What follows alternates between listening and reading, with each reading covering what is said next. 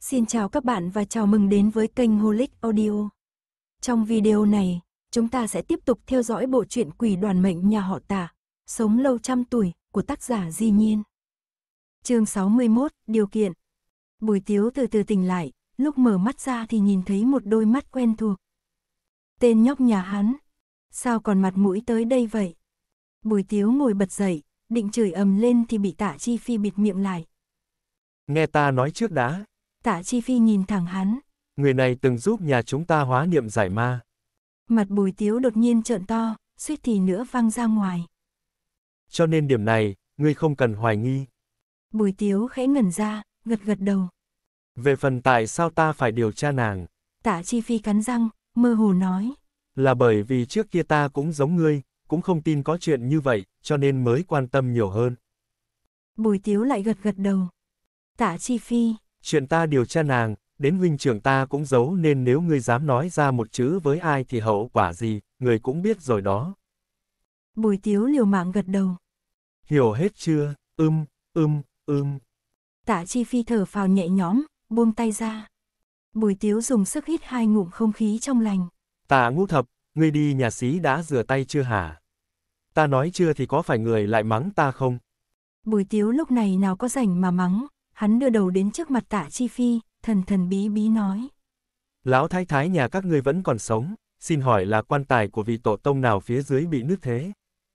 Tạ Chi Phi biết không giấu được tên nhóc này. Người này nhìn qua là một nhị thế tổ không làm việc đàng hoàng, mỗi ngày trà trộn trong đám hòa thượng, thế nhưng lại tinh danh giống như một con khỉ, chẳng ai thông minh bằng hắn. Chỉ là sự thông minh này chưa bao giờ dùng vào chính đạo. Lão tổ tông nhà ta lúc còn trẻ từng tục huyền với người khác, người nọ mấy tháng trước vừa qua đời, Yến Tam Hợp là cháu gái nuôi của người đó. Một câu nói làm bùi tiếu cả kinh suýt nữa thì linh hồn xuất khiếu. Lượng tin tức này, quá là bùng nổ rồi. Hắn kinh ngạc nhìn tạ chi phi, sau đó làm động tác cắt cổ. Nếu ta ra ngoài nói một chữ, thì ngươi sẽ trực tiếp giết chết ta. Tạ chi phi chưa bao giờ nghi ngờ hắn, kéo người về phía mình, đè nén nói. Minh Đình, ta muốn mượn tay ngươi giúp ta điều tra chuyện này của Yến Tam Hợp. Nhân thủ của hắn đều ở thành tứ cửu, nhưng tên nhóc này thì không, chức tăng lục đạo tuy nhàn rỗi, nhưng lại là người quản lý tất cả tăng nhân khắp đất nước.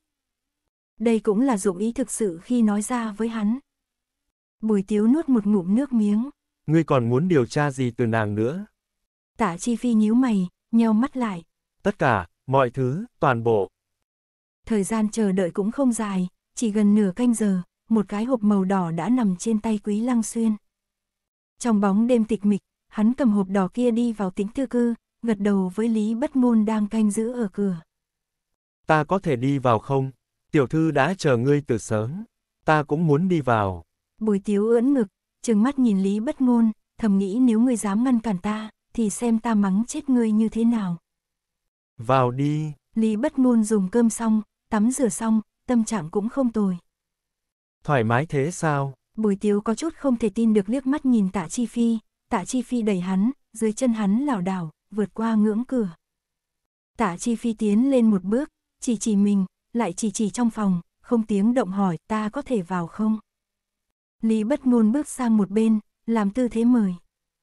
Đa tạ. Tạ Chi Phi vừa nhấc chân lên, nụ cười miễn cưỡng trên mặt liền hiện lên. Càng sốt ruột, hắn càng giả bộ giống một công tử ăn chơi trác táng, đến khí thế xung quanh cũng mang theo vài phần bất cần đời. Đi vào trong phòng, hắn hờ hững cười với Yến Tam Hợp, rồi ngồi xuống ghế bên cạnh Bùi Tiếu. Yến Tam Hợp không nhìn hắn, chỉ nhìn Quý Lăng Xuyên. Quý Lăng Xuyên bước lên trước, đặt chiếc hộp bên tay Yến Tam Hợp. Yến cô nương, đây là thành ý của ta, mời ngươi xem thử. Yến Tam Hợp mở hộp, lấy đồ vật bên trong ra đặt lên bàn. Ba năm thanh chi phủ, 10 năm tuyết hoa ngân, sao, huống chi quý lăng xuyên quản lý thủy vận và kho chứa bổ béo nhất thiên hạ. Sao cho dù là chi phủ thanh liêm không ăn hối lộ trái pháp luật, một nhiệm kỳ 3 năm, chỉ riêng việc tuân theo các quy tắc ngầm thôi cũng phải có 10 vạn lượng bạc rồi. Tạ Chi Phi nhìn đến thẳng thắp, khó trách Hán Vương bên kia muốn buộc tội tham ô cho hắn, số bạc này e là hơn phân nửa có lai lịch bất chính. Vậy, Yến Tam Hợp cần bao nhiêu đây? Tạ Chi Phi nhìn chằm chằm Yến Tam Hợp, không muốn bỏ qua bất cứ biểu cảm nào trên mặt nàng. Yến Tam Hợp nhìn đống đồ trên bàn, mày nhíu lại. Nàng nhíu màu, Quý Lăng Xuyên lại tưởng là nàng chê ít, vội giải thích. Còn có một ít là tiền mặt, nếu chuyển qua thì e là động tính quá lớn. Sông Nhược Thủy lớn cả ngàn dặm. Yến Tam Hợp rút ra hai tờ ngân phiếu, lạnh lùng nói. Cho ta một gáo nước là đủ rồi, hai ngàn lượng, ta nhận rồi. Chỉ hai ngàn lượng thôi ư. Cầm bùi tiếu kinh ngạc đến sắp rớt xuống, đưa tay bóp chặt cánh tay tạ chi phi, tạ ngũ thập, đây con bà nó tình huống gì đây? Con bà nó người buông tay ta ra trước đi. Tạ ngũ thập cho bùi tiếu một ánh mắt cảnh cáo, lông mi nhướng lên như có điều suy nghĩ nhìn về phía Yến Tam Hợp. Quý Lăng Xuyên kinh ngạc đến ăn nói không liền mạch. Yến cô nương, cái này, cái này, cái này. Đừng nóng vội. Yến Tam Hợp giọng nói thản nhiên nói. Ta còn muốn thành ý khác của ngươi. Quý Lăng Xuyên thốt ra. Yến cô nương cứ nói. Yến Tam Hợp. Sau khi hóa niệm giải ma thành công, quý gia phải làm giúp ta một việc. Quý Lăng Xuyên. Việc gì? Yến Tam Hợp nhìn bóng đêm bên ngoài. Tạm thời chưa nghĩ ra. Quý Lăng Xuyên. Bùi Tiếu nhịn không được, hỏi thay cậu hắn. Chuyện ngươi nói là giết người phóng hỏa, hay là trộm cướp gian dâm? Yến Tam Hợp lạnh lùng nhìn hắn. Ngươi đang nói điều kiện với ta sao? Vậy chắc chắn phải nói thôi. Bùi Tiếu kéo cao giọng. Chúng ta đều là người đứng đắn có quy tắc, không làm những việc đó. Yến Tam Hợp khẽ. À. Một tiếng, tay chỉ chỉ vào chồng ngân phiếu kia, ý tứ rất rõ ràng, người đàng hoàng sẽ có nhiều tiền như vậy sao? Bùi Tiếu Thành thật ngậm miệng lại, liếc qua Chi Phi, ông đây vừa bại trận rồi. Tả Chi Phi, đáng đời. Bùi Tiếu, không phải giúp ngươi thăm dò nàng sao? Tả Chi Phi, lần tới đổi cách thông minh khác để thăm dò được không? Yến Tam Hợp không có thời gian nhìn hai người liếc mắt đưa tình, đặt ngân phiếu trong tay lên bàn rồi đứng lên. Ta đồng ý. Ngân xanh trên trán Quý Lăng Xuyên nổi lên, hét lớn. Ta đồng ý sau khi chuyện thành công sẽ làm giúp cô nương một việc, tuyệt đối không đổi ý. Bất ngôn. Lý bất ngôn đi vào trong phòng, lấy một tờ giấy trắng và mực in, cười híp mắt nói. Đến đây đóng cái dấu nào. Quý lăng xuyên cắn răng dậm chân một cái, ngón cái dính một mực đỏ. Cậu đồng ý thật sao? Quý lăng xuyên nhìn cháu ngoại mình, ngực phập phồng kịch liệt, rồi cúi đầu dùng sức ấn lên. Hắn không có lựa chọn nào. Quý gia cũng không có lựa chọn nữa. Cho dù nàng muốn hắn giết người phóng hỏa thì hắn cũng sẽ làm thôi. Tiểu thư. Yến Tam Hợp nhận lấy tờ giấy kia, đi tới trước cửa đứng khoanh tay. Ba nam nhân, sáu con mắt nhìn chằm chằm nàng, đều thầm nghĩ nàng còn định làm cái gì nữa. Nàng chậm rãi xoay người, sắc mặt bình tĩnh nói. Mộ quý lão thái thái ở đâu, bây giờ hãy dẫn ta đi xem. Sự ớn lạnh từ lòng bàn chân nhanh chóng dâng lên, khiến ba nam nhân dùng mình một cái. Bùi tiếu nhìn bóng đêm vô hạn bên ngoài phòng, lại len lén véo cánh tay tạ chi phi. Tại sao phải đêm hôm khuya khoát? Không thể ban ngày sao? Tổn thọ quá. Tạ ngũ thập không thấy đau vì bây giờ hắn đang bận nghĩ đến một vấn đề. Tờ giấy trắng kia chẳng có chữ nào, lỡ như sau đó Quý Lăng Xuyên không thừa nhận thì hình như cũng chẳng làm gì được hắn. Yến Tam Hợp là vô tư hay là có chỗ dựa thế? Bí ẩn dường như càng lúc càng lớn. chương 62, xem niệm. Tổ tiên quý gia chôn ở dưới núi Long Hồ ngoại ô phía đông, trước có Hồ Minh Nguyệt, lưng tựa núi Long Hồ, nhìn thế nào cũng là một nơi phong thủy bảo địa. Nếu như ban ngày thì chắc chắn là cảnh chim hót hoa thơm, xuân ý dịu dàng. Nhưng còn buổi tối, cho dù bùi tiếu đã tới một lần thì hắn cũng thấy rất hoảng, hắn túm chặt lấy cánh tay tạ chi phi, chẳng dám thả lỏng ra chút nào. Nhìn tiền đồ của ngươi kìa. Tạ chi phi hất cầm về phía hai người đi trước, còn thua cô nương nhà người ta. Chết tiệt, ta có thể so sánh với hai nữ phù thủy kia được chứ? Nhìn hai người này xem, đi còn nhanh hơn nam nhân, lưng còn thẳng hơn nam nhân, tỷ nữ họ lý kia lại còn huyết sáo nữa. Bùi tiếu kéo cánh tay tạ chi phi, một cô nương lại đi huyết sáo, người thấy có ra cái thể thống gì không? Tạ chi phi nheo mắt, cố ý tìm hiểu. Cô nương thổi khúc gì vậy? Lý bất ngôn quay đầu lại. Chuột yêu gạo. Rồi rồi, em lại vớ phải chuyện xuyên không rồi. Bùi tiếu. Gì cơ?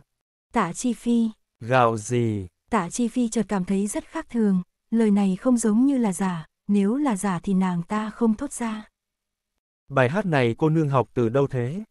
Lý bất ngôn. Mẫu thân ta. Bùi tiếu ngoài cười nhưng trong không cười bổ sung một câu.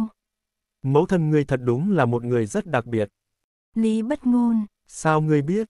làm sao ta biết được? Bùi tiếu hừ hừ hai tiếng, nhìn lên trời, thầm nghĩ, nàng ta bị ngốc à, sao không nghe ra ý trào phúng trong lời ta chứ? Tạ chi phi nhân cơ hội truy hỏi, Mẫu thân của cô nương bây giờ đang ở đâu? Lý bất ngôn chỉ lên trời. Bùi tiếu sợ tới mức vội vàng lật mắt lại, trong lòng mặc niệm một tiếng A-di-đà Phật. Tạ chi phi tỏ vẻ áy náy, Xin lỗi, nói đến chuyện đau lòng rồi. Lý bất ngôn quay đầu lại mỉm cười. Không đau lòng, người có thể quay về ta vui còn không kịp. Bùi tiếu, bà phù thủy này đầu óc có vấn đề rồi. Tạ chi phi, chỉ sợ lại là tổ tông. Khủ khủ, Dọc theo đường đi Yến Tam Hợp vẫn không lên tiếng đột nhiên ho khan hai tiếng, Lý bất ngôn nhún nhún vai, lần nữa quay đầu lại, cười với tạ chi phi. tam gia hỏi thăm ta nhiều như vậy, có phải có hảo cảm với ta hay không? Bùi tiếu, nha hoàn này sao lại không biết xấu hổ như thế? Tạ chi phi, nha hoàn này thật thông minh. Tạ chi phi nhanh trí, che miệng. Khủ khủ khủ, Lý bất ngôn nhấc cánh tay Yến Tam Hợp lên, tuy rằng thấp giọng rồi nhưng tất cả mọi người đều có thể nghe được giọng nói của nàng. tiểu thư, đã xác nhận qua ánh mắt rồi, ý hắn say không ở rượu, mà ở tiểu thư nàng trong chốn nước non. Yến Tam Hợp thản nhiên nói. Cái gì? Lý bất ngôn nghĩ nghĩ, lại nói.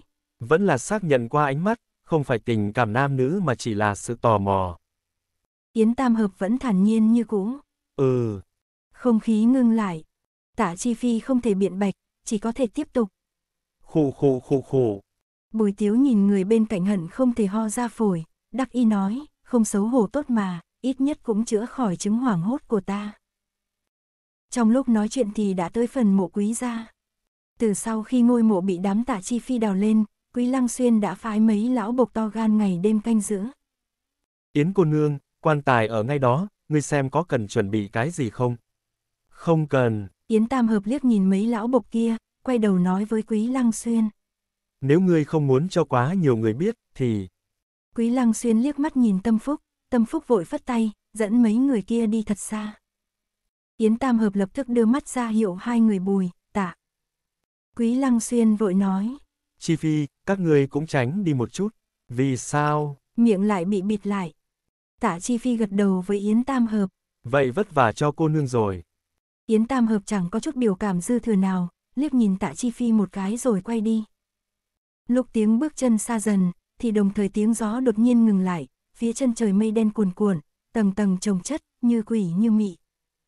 Xung quanh hết thảy đột nhiên trở nên an tĩnh, đến tiếng côn trùng kêu chim hót cũng không có, mỗi người chỉ có thể nghe được nhịp tim của mình đang đập thình thịch. Quý Lăng Xuyên tuy đã hơn 50 tuổi, nhưng thấy hiện tượng kỳ lạ này thì vẫn run rẩy. Yến Tam hợp móc khăn trong ngực ra, lau chùi từng ngón tay. Cô lau rất chậm, nói cũng rất chậm. Bà cụ năm nay bao tuổi rồi? Quý Lăng Xuyên dập đầu. 6, 68. Yến Tam hợp, Người ở đâu? Quý Lăng Xuyên, Nguyên quán Quảng Tây. Yến Tam hợp, Tên là gì? Cái này. Quý Lăng Xuyên bị hỏi vội, suy nghĩ nửa ngày mới nói. Chỉ biết mẫu thân họ hồ. Ngay cả tên của mẫu thân ruột mình cũng không biết, đúng là con trai ngoan. Yến Tam hợp lạnh lùng nhìn Quý Lăng Xuyên một cái. Không nói được thì ngươi đi xuống trước. Vâng. Lý bất ngôn nhảy xuống hố mộ, hai tay dùng sức, quan tài nửa che nửa đậy phát ra một tiếng, Kéo kẹt. rồi rời qua một bên. Tạ Chi Phi và Bùi Tiếu đều không đi quá xa. Một tiếng này vang lên, da đầu hai người tê dại, cả người nổi da gà. Bùi Tiếu theo phản xạ có điều kiện, giật mình nhảy dựng lên, vốn định nhảy lên lưng Tạ Chi Phi như hắn lại khẽ né tránh. Không kịp đứng vững, Tạ Chi Phi trở tay túm lấy cánh tay hắn, dùng sức kéo ra ngoài. Bùi Tiếu bị hắn túm suýt nữa thì ngã sấp xuống. Ngươi làm gì vậy? Suyệt. Tạ Chi Phi làm động tác im lặng, lại đi xa hơn 10 trượng, sau đó chỉ vào cây đại thụ trước mặt, im lặng nói ba chữ với Bùi Tiếu. Leo lên đi.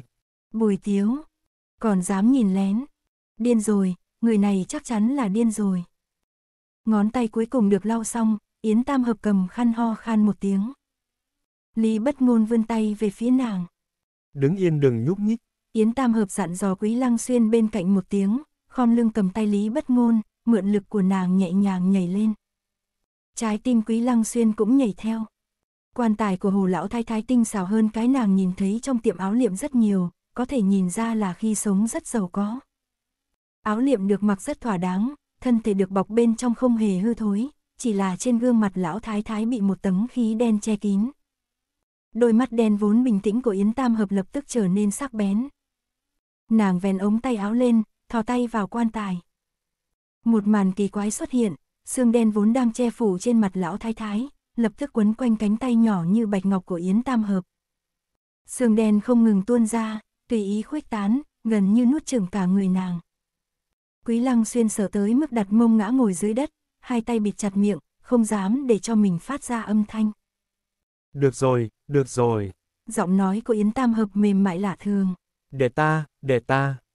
Sương đen kia tựa như có thể nghe hiểu tiếng người, chậm rãi tan đi, cuối cùng tụ lại ở trên tay Yến Tam Hợp. Nói cho ta biết, ngươi còn chuyện gì không bỏ xuống được. Yến Tam Hợp đưa tay che lên hai mắt lão thái thái, sau đó chậm rãi nhắm mắt lại. Người đang hấp hối, thì những người và chuyện gặp trong đời đều sẽ như ảo cảnh lướt qua trong đầu. Vui vẻ, đau khổ, bi thương, oán hận, khắc cốt ghi tâm. Một số chỉ thoáng cái đã qua, một số sẽ dừng lại một lát, còn một số sẽ dừng lại càng nhiều thời gian. Những tâm niệm không thể nói ra miệng lời kia chiếm cứ lâu dài ở trong đầu người chết, đến lúc chút đi hơi thở cuối cùng thì tâm niệm đó vẫn như cũ. Sương đen theo đầu ngón tay Yến Tam hợp thấm vào, dần già trước mắt nàng xuất hiện một bức tranh. Khi cô nhìn rõ hình ảnh kia thì lông mày lập tức nhíu lại. Thứ ngươi không bỏ xuống được, là nó sao? chương 63, chó đen. Trên cây có hai người đang ngồi xổm. Hai người không chớp mắt, như thế nào thứ nhìn thấy vào mặt lại là cái cảnh tượng. Muốn đi chết thử. Thế, quan tài mở rộng, trong quan tài tỏa ra mùi xác chết. Thiếu nữ xinh đẹp đứng bên cạnh quan tài, ngón tay thon dài vừa vuốt ve khuôn mặt tử thi, vừa nói chuyện với tử thi, khẩu khí nói chuyện dịu dàng còn hơn nói với người sống. Mặt bùi tiếu trắng bệch nhìn chằm chằm tạ chi phi. Tạ chi phi bị hắn thì chừng hắn một cái, nhìn ta làm gì? Nhìn bên kia kìa. Hai hàng răng bùi tiếu lập cập không ngừng, ông đây dám sao? Trong lòng nói không dám, nhưng ánh mắt lại rất thành thực, dương mắt nhìn qua, bùi tiếu suýt nữa thì không thở được. Sương đen phút chốc tuồn từ đầu ngón tay Yến Tam Hợp trở lại trên mặt lão thái thái. Yến Tam Hợp rút mạnh tay về rồi tục lui về phía sau vài bước. Lý bất ngôn vội vàng đưa tay đỡ lấy. Tiểu thư, không sao. Yến Tam Hợp mở to mắt, ánh mắt sâu kín dừng ở quý lăng xuyên trên người, ngần từng chữ hỏi. Nhà các ngươi có nuôi chó hả? Quý lăng xuyên theo bản năng lắc đầu. Không, không nuôi. Ngươi nghe cho kỹ đây. Yến Tam Hợp dừng lại một hồi lâu, mới mở miệng nói. Tâm ma mà mẫu thân ngươi không bỏ xuống được là một con chó. Xoẹt. Một tiếng. Hình như là tiếng cành khô gãy. Tiếp đó. a à. Một tiếng. Nghe như tiếng ai đó ngã từ trên cây xuống.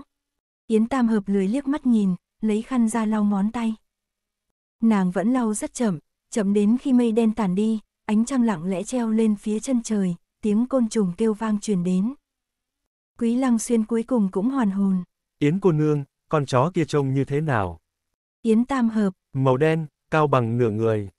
Quý Lăng Xuyên chỉ cảm thấy ngực mình nghẹn lại. Vậy bây giờ chúng ta... Dọn đường, hồi phủ. Yến Tam Hợp giọng nói mệt mỏi nói không nên lời, dường như đã kiệt sức. Bất ngôn, kéo ta lên. Lý bất ngôn khép nửa quan tài lại, sau đó nhảy lên trước, rồi kéo Yến Tam Hợp lên. Yến Tam Hợp lại đứng trước mặt Quý Lăng Xuyên. Chuẩn bị một gian viện yên tĩnh, cung cấp một ngày ba bữa, từ ngày mai ta sẽ quý ra, cho đến khi quan tài lão thái thái khép lại. Quý Lăng Xuyên dãy dụa đứng dậy khỏi mặt đất, ngẩng đầu vừa muốn nói gì đó nhưng lại kinh hãi. Thiếu nữ giống như là vừa vớt từ dưới nước lên, mồ hôi trên mặt nhỏ xuống theo chiếc cằm nhọn của nàng. Yến cô nương, ngươi, không sao. Lý bất ngôn đi tới, cúi người, Yến Tam Hợp nằm úp sấp sau lưng nàng. Tới nơi thì gọi ta. Ừ. Lý bất ngôn đứng thẳng dậy. Quý lão gia, gọi tất cả mọi người lại đây, xuất phát đi. Quý lăng xuyên trợn mắt há hốc mồm. Nàng ta. Lý bất ngôn. Mệt rồi. Trên đường về, không ai có tâm trạng nói chuyện. Cả người quý lăng xuyên giống như quả cà bị xương phủ kín, phải cần người đỡ mới có thể đi lại. Yến Tam Hợp thì ghé vào trên người Lý bất ngôn bất động, khuôn mặt trắng bệch, không khác gì người chết. Tạ Chi Phi nhìn chằm chằm bóng lưng Yến Tam Hợp thật lâu, rồi đi tới bên cạnh Lý Bất Ngôn. Cô nương có mệt không, hay ta cõng dùm cho? Lý Bất Ngôn cười híp mắt nhìn hắn. Cho dù ta chịu thì tiểu thư nhà ta cũng không đồng ý. Tạ Chi Phi cân nhắc chốc lát. Chuyện đó, có phải lần nào nàng cũng... Tạ tam gia. Lý Bất Ngôn cười híp mắt lại. Ngươi cứ tiếp tục thì mắt ta không thể xác nhận được. Tạ Chi Phi. Lý Bất Ngôn nháy mắt với hắn. Đừng tò mò về cô nương chưa kết hôn quá, tất cả sự tò mò không đi đến hôn nhân thì đều là đùa giỡn lưu manh. Tạ Chi Phi. Bùi Tiếu đi tới bên cạnh Tạ Chi Phi, nhìn bóng lưng hai chủ tớ thì như có điều suy nghĩ nói. Huynh đệ, ánh mắt của ta đã giúp ngươi xác nhận. Tạ Chi Phi. Nói đi, nha đầu kia nhìn thì đang cười híp mắt, nhưng thực ra chỉ là một chiêu che mắt thôi, cái gì có thể nói, cái gì không thể nói nàng đều rất rõ ràng. Bùi Tiếu đè nén giọng nói. So với nha hoàn tính cách trơn trượt thì tiểu thư thẳng tính hơn nhiều, muốn gặp ai, không muốn gặp ai, đều hiện trên khuôn mặt. Xác nhận rất đúng, cho nên... Tạ Chi Phi thấp giọng nói. Chúng ta vẫn nên bắt đầu từ tiểu thư. Bắt đầu cái rắm. Bùi Tiếu thở dài. Ngươi trước tiên hãy ngẫm nghĩ cho ta, tâm mà của bà ngoại ta vì sao lại là một con chó hả? Sắc mặt tạ Chi Phi lập tức nứt ra. Một con chó. Nói ra ai sẽ tin chứ? Xe ngựa chạy đến cửa thành thì đã quá canh năm. Tạ Chi Phi móc lệnh bài ra, lại chuẩn bị 20 lượng bạc, vệ binh giữ thành vui vẻ mở cửa ra. Vào thành, đoàn người chia làm ba đường, đều tự hồi phủ của mình. Không lâu sau, xe ngựa dừng lại ở cửa tạ ra. Yến Tam Hợp đã tỉnh lại, bèn tự mình nhảy xuống xe. Yến cô nương. Tạ Chi Phi xoay người xuống ngựa, đuổi theo. Yến Tam Hợp xoay người, nhìn hắn. Tạ Chi Phi yên lặng một lát, chỉ dặn dò một câu. Ngươi nghỉ ngơi cho khỏe. Yến Tam Hợp gật đầu, cất bước vào cửa. Tam gia. Tạ Tổng quản chờ ở cửa bước nhanh lên. Đại gia dặn dò, dù ngài trở về muộn bao nhiêu thì cũng bảo Tam gia phải đến thư phòng của ngài ấy một chuyến. Đi ngay bây giờ. Tạ Chi Phi liếc thấy Tạ Tổng quản che miệng ngắp một cái, cánh tay dài duỗi ra, kéo người đến dưới nách. Tạ Tiểu Hoa, sáng mai, dù ngươi dùng cách gì thì phải giữ Yến Tam hợp lại cho ta, nếu không giữ được. Nước mắt Tạ Tổng quản, không biết là bị Tam gia dọa, hay là ngáp mà ào một tiếng chảy xuống. Lão nô còn có cách gì đâu, chỉ có nước quỷ mà thôi. Tam hợp, tâm ma của quý gia lão thái thái sao lại là một con chó ư? Lúc không có người, Lý bất ngôn không gọi. Tiểu thư, tiểu thư. Nữa, thần thái cũng rất tùy ý. Ngươi không thấy đâu, quý lão gia nghe thấy là con chó thì suýt nữa thì ngất xỉu đó. Yến Tam hợp thầm nghĩ. Chờ ta vào quý gia, từ từ điều tra, thì có thể sẽ điều tra ra chút manh mối rồi. Lý bất ngôn. Việc này đã gây họa cho con cháu, thời gian không cho phép ngươi từ từ điều tra đâu. Yến Tam hợp. Cho nên ta mới thu chút tiền kia. Lý bất ngôn chừng nàng. Chút tiền đó chẳng đủ nhét kẽ răng. Bất ngôn. Đừng làm nũng, không hợp với ngươi đâu. À đúng rồi. Lý bất ngôn đột nhiên lại nghĩ đến một chuyện. Ngày mai tả ra có cho ngươi đi không? Yến Tam hợp. Không có lý do gì để ngăn cản. Lý bất ngôn. À. Một tiếng. Vậy sáng mai ta sẽ thu dọn đồ đạc. Được. Một chữ được vừa dứt, ánh mắt Lý bất ngôn chợt sắc lẹm. Người nào, đi ra đây. Ở chỗ rẽ, tạ bất hoặc đi ra, nở nụ cười trầm tình mà ấy náy với Yến Tam Hợp. Xin lỗi, quấy giày cô nương rồi. Ngươi lén lút trốn bên kia làm gì? Bất ngôn, hắn là nhị gia tạ phủ. Yến Tam Hợp tiến lên một bước, hờ hững nói. Chờ ta có chuyện gì? Dùng một chữ. Chờ. Khiến tạ bất hoặc ngẩn người, thành thật nói. Quả thật đã đợi rất lâu, chỉ muốn nói một tiếng cảm ơn thay Uyển Su thôi. Yến Tam Hợp. Không phải chuyện gì lớn. Tạ bất hoặc nhìn băng gạc trên trán nàng. Với ta, với Uyển Su, với Di Nương đều là chuyện lớn. Dứt lời, hắn khom người, thi lễ thật sâu. Yến Tam Hợp nghiêng người, nhận lễ của hắn. Tạ bất hoặc hành lễ xong thì đưa túi giấy trong tay lên. Nhị phòng không có thứ gì tốt, cô nương hãy dùng nó để bồi bổ vết thương, kính xin cô nương đừng từ chối. Yến Tam Hợp nghe xong lời này thì không biết vì sao lại thấy đau xót, cứ cảm thấy tình cảnh này dường như đã gặp ở nơi nào đó rồi vậy. Cảm ơn bạn đã ghé thăm kênh Holic Audio. chương 64, quen thuộc. Yến Tam Hợp nhận lấy túi giấy, khẽ nói. Đa tạ, ngươi trở về đi. Cô nương cũng sớm nghỉ ngơi, cáo từ. Bóng lưng thon dài cao ngất của nam nhân rất nhanh đã biến mất trong bóng đêm. Yến Tam Hợp quay đầu, thấy Lý Bất Ngôn khoanh tay trước ngực, trên mặt là nụ cười nhìn ngẫm. Nhìn ta làm gì, tam gia thì không muốn gặp, nhị gia lại rất thuận mắt, tam hợp muội muội, xin ngươi thành thật nói ra, vì sao thế? Yến Tam Hợp trần chờ một chút. Hình như rất quen thuộc, quen thuộc cái gì, là tạ nhị gia, hay là, là câu nói kia của hắn? Câu nào, nhị phòng không có thứ gì tốt, cứ cảm thấy trước kia hình như đã từng nghe thấy. Chẳng lẽ... Lý bất ngôn nhếch khóe miệng. Chẳng lẽ, thân phận thật sự của ngươi trước kia là thứ xuất? Có lẽ... Yến Tam nhắm mắt lộ vẻ mờ mịt. Tâm ma của quý gia lão thái thái là con chó ư. Lời này nếu không phải Yến Tam hợp tự mình nói ra, tạ nhi lập căn bản không tin. Sao có thể thế được? Cũng khó tin quá rồi. Tạ nhi lập thả lòng tâm thần. Sáng mai lão thái thái sẽ tự đến tính tư cư mời người ở lại, có được hay không thì phải xem bản lĩnh của lão thái thái, không còn sớm nữa, ngươi đi nghỉ ngơi đi. Tạ Chi Phi vừa nghe lão tổ tông tự mình xuất mã thì yên tâm hơn nhiều. Đại ca cũng ngủ sớm đi. Lão Tam vừa đi, Tạ Lập cũng rời khỏi thư phòng, trở về Phương Châu Viện, thấy đèn trong xương phòng phía tây còn sáng, trong lòng hắn có chút hài lòng. Đại nãi nãi Chu Vị Hy nghe được động tĩnh đi ra đón, sau khi hai phu thê nói chuyện phiếm vài câu thì Tạ Nhi Lập đến tịnh phòng tắm rửa thay quần áo. Xong việc thì hắn tắt đèn, nửa dựa nửa nằm trên giường bên ngoài. Hai người thành hôn đã 6 năm, Chu thị biết rõ nam nhân này ngồi tư thế đó là có chuyện muốn nói, càng rõ ràng hắn muốn nói cái gì. Chuyện hôm nay là ta làm không ổn. Hai mắt Chu thị nhìn chằm chằm bức màn. Không nên đồng ý cho nhị muội ra ngoài. Giọng Tạ Nhi lập trầm xuống. Chỉ như vậy thôi sao? Chu thị cắn môi. Càng không nên chỉ phái hai hộ viện và mấy vú nuôi đi theo. Ta đã sớm dặn nàng, chuyện liên quan đến Yến Tam Hợp thì phải để tâm nhiều hơn rồi. Tạ Nhi lập bấm ngón tay gõ gõ ván giường. May mà có kinh không hiểm, nếu không ta còn mặt mũi gì với lão thái thái, lão gia. Có mặt mũi nào với nhị phòng đây? Trong bóng tối, mắt Chu thị đã chứa đầy nước mắt, cắn răng chịu đựng không dám rơi xuống. Phụ thân giao nội trạch cho nàng là vì coi trọng nàng, càng tín nhiệm nàng, sau này đừng để chuyện này xảy ra nữa, ông ấy đã phải lo chuyện triều định mệt mỏi lắm rồi, đừng để ông ấy phải quản là chuyện nội trạch này nữa. Chu thị run rẩy cổ họng, đáp một tiếng. Vâng, sáng mai lão thái thái sẽ đi tính tư cư, nàng buông chuyện trên tay xuống, đi theo đi. Vâng. Nhị phòng bên kia nàng cũng bất chút thời gian đi một chuyến đi. Hôm nay ta đã đi rồi. Liễu Di Nương nói như thế nào? Bà ấy chỉ mắng con gái mình. Đúng là biết làm người. Tạ Nhi lập hừ một tiếng. Khuya rồi, nghỉ đi. Nói xong, hắn chờ mình, mặt hướng ra ngoài mà ngủ, sau lưng còn cách ra một mảnh lạnh lùng.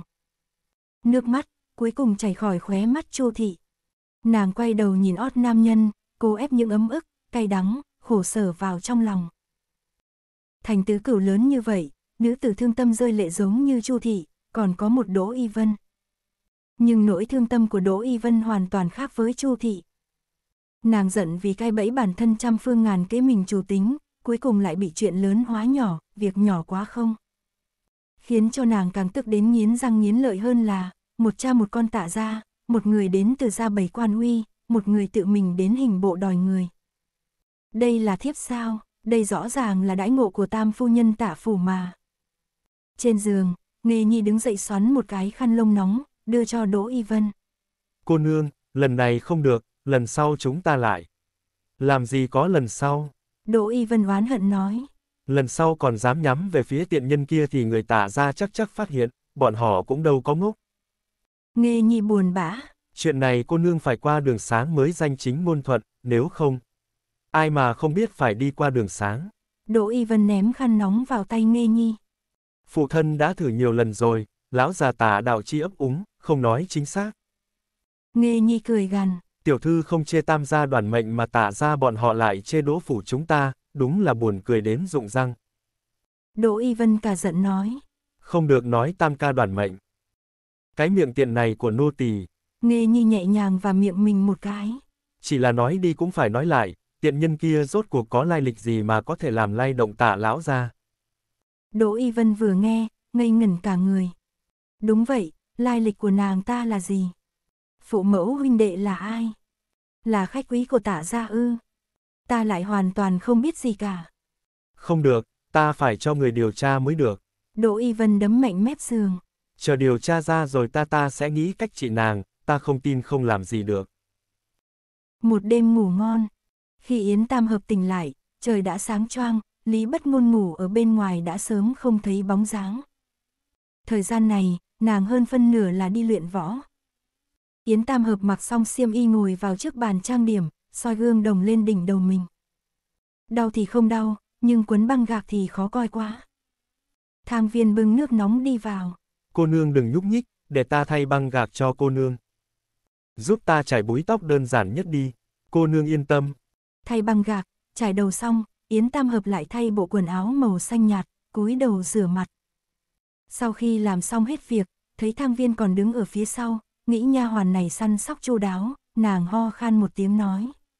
Hôm nay ta sẽ rời phủ. Thang viên cả kinh nói cũng không nên lời. Ngươi từ đâu tới, thì hãy trở về nơi đó. Yến Tam Hợp trầm mặc một hồi.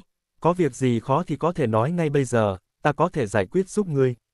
Có thể đi đâu? Lý bất ngôn vén rèm đi vào, cười nói với Yến Tam Hợp.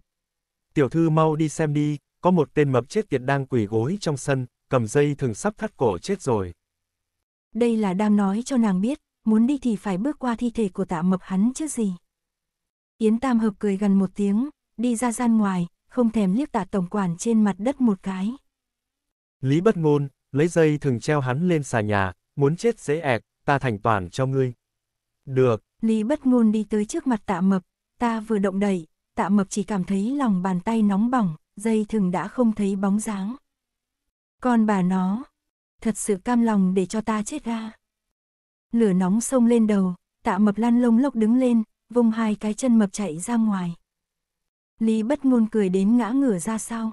Nhìn kìa, lại một con hàng nhát gan. Con hàng này sợ hãi vội vàng đi báo tin. Chưa qua một lát thì cả đoàn người đã đi vào tính tư cư, cầm đầu, tất nhiên là tả lão thái thái tóc bạc phơ. Hai bên bà, một vị là tả tam gia, một vị là đại nãi nãi chu thị. chương 65, giữ người. Tả lão thái thái đứng lại trong viện, không mở miệng, đầu tiên là lau nước mắt. Nước mắt ào ào chảy xuống. Lại một quệt, vẫn ào ào chảy xuống. Nếu chỉ rơi lệ thôi thì không sao, mà lão thái thái còn dùng ánh mắt rưng rưng, đáng thương nhìn Yến Tam hợp, dáng vẻ đáng thương nhỏ yếu lại bất lực. Yến Tam nghiến răng. Tính tư cư này thành sân khấu kích lúc nào vậy? Tạ lão thái thái sao có thể nghe không ra châm chọc trong lời nói của nàng, vẫn không lên tiếng và không ngừng gạt lệ, thân thể lung lay sắp đổ. Tạ Chi Phi bên cạnh vội đưa tay đỡ lấy. Mau, mau đi mời thái y. Lập tức có nha hoàn thông minh chạy đi. Yến cô nương không cần lo lắng, lão thái thái dưỡng bệnh mấy tháng nói không chừng sẽ khỏe lên thôi, nếu không khỏe thì chỉ có thể nói là số mệnh rồi. Tạ Chi Phi quay đầu nhìn Yến Tam Hợp cười áy náy.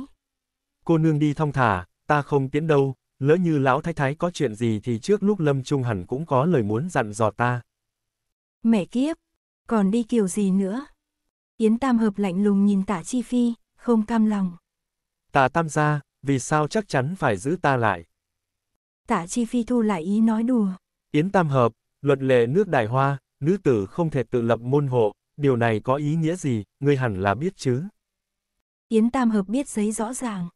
Ý là sau khi Yến Hành qua đời, tất cả mọi thứ trên danh nghĩa của ông, cho dù chỉ là mấy gian nhà rách nát thì đều phải quy về dòng họ Yến Thị. Mà cô nương mồ côi này từ nay về sau cũng chỉ có thể dựa vào tông tộc, hơn nữa, tông tộc Yến Thị có quyền xử trí cô. Nói một câu khó nghe nhất, thì Yến Thị tông tộc bảo nàng gả cho chó, thì nàng cũng chỉ có thể ngoan ngoãn làm theo. Yến Tam Hợp thực ra căn bản không lo lắng người Yến gia sẽ tìm đến, nàng vốn dĩ cũng không phải cháu gái ruột của Yến Hành. Nhưng tạ gia không biết. Tạ Chi Phi thấy nàng im lặng thì ánh mắt không khỏi sâu thêm vài phần. Bệnh của lão tổ tông có tốt hay không, phải xem cô nương nàng rồi. Thêm một chuyện không bằng bất một chuyện, vẫn đừng làm cho người ta nổi lòng nghi ngờ mới được. Yến Tam sắn tay áo vung lên, đi vào trong nhà. Khóe miệng tả Tam ra nhếch lên.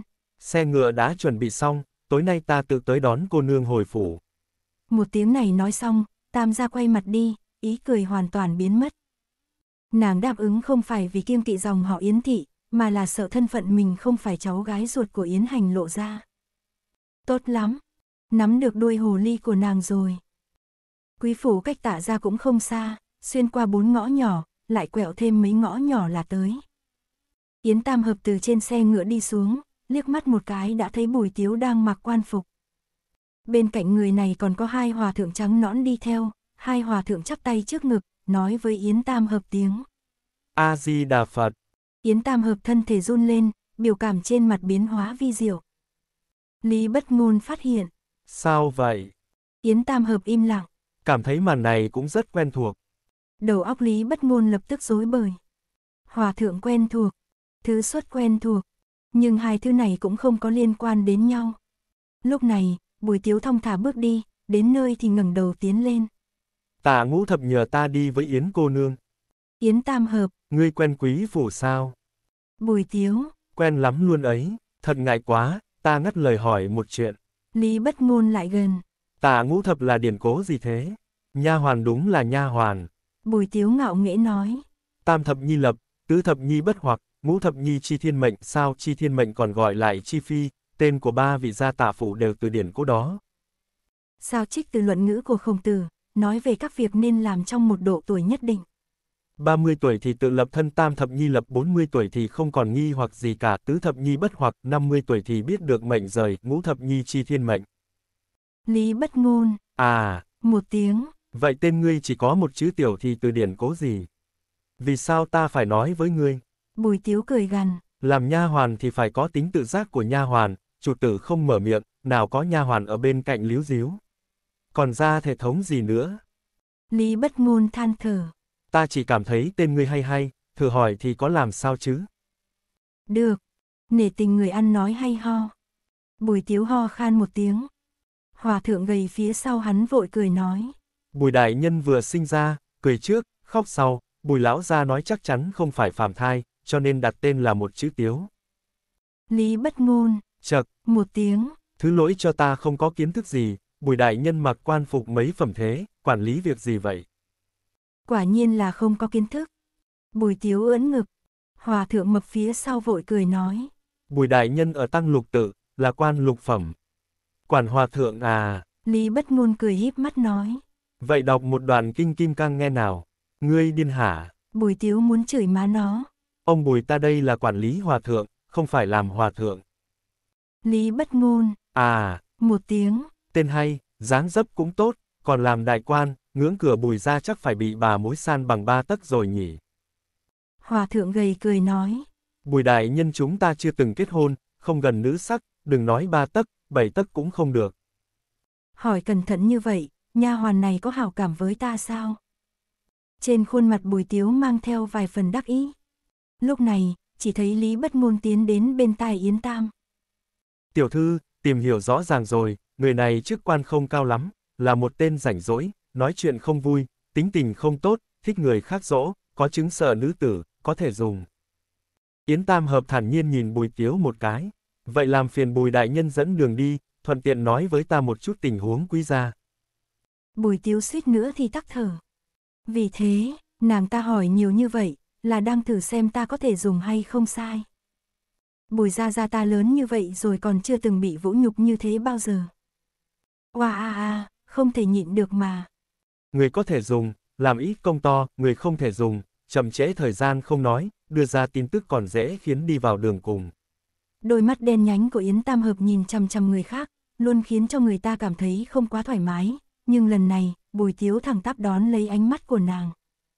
Khó trách tạ ngũ thập muốn âm thầm điều tra nàng, bình tĩnh thông tuệ không giống một cô nương 17 tuổi bình thường. Bùi Tiếu lập tức thấy tò mò. Ngươi muốn biết thứ gì của quý gia? Ta hỏi, ngươi đáp. Yến Tam hợp quen với cách hỏi của mình, đơn giản rõ ràng. Trong mắt ngươi, lão thái thái là người như thế nào? Chuyện này...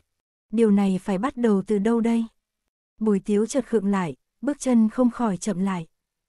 Yến Tam hợp. Vừa rồi ta hỏi vấn đề này, ý nghĩ đầu tiên trong đầu ngươi là gì? Bùi Tiếu thốt ra. Một người tốt hiền lành. Tốt như thế nào? Từ nhỏ thời gian ta ở quý gia nhiều hơn ở bùi gia, từ đó về sau, lão thái thái luôn giấu đồ tốt nhất đi, chờ lúc không có ai len lén nhét cho ta ăn, cháu ruột cũng không có đãi ngộ này. Bùi tiếu thầm thở dài.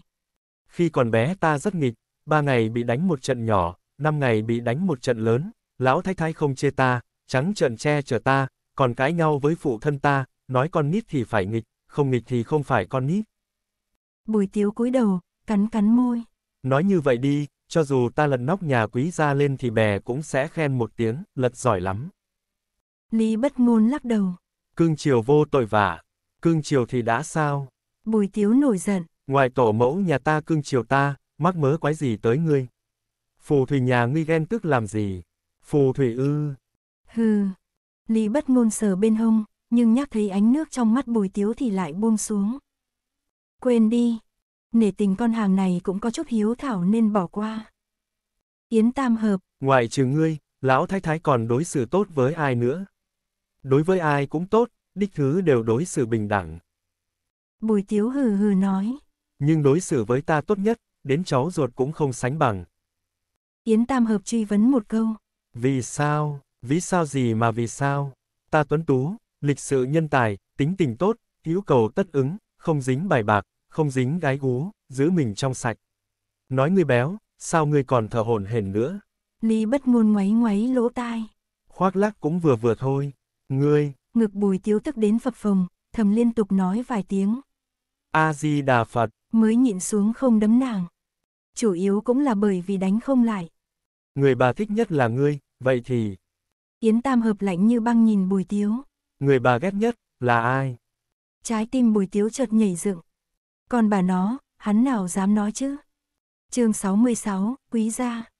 Binh mã ti Bắc Thành. Tả chỉ huy sư bắt chéo chân, trong tay cầm một chung trà, nhưng tâm tư đã chạy tới quý gia rồi.